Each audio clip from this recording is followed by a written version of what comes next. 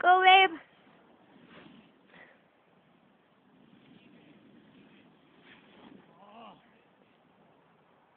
That was really good. oh, sh! Don't hit me. Woo! How do you feel? You quit?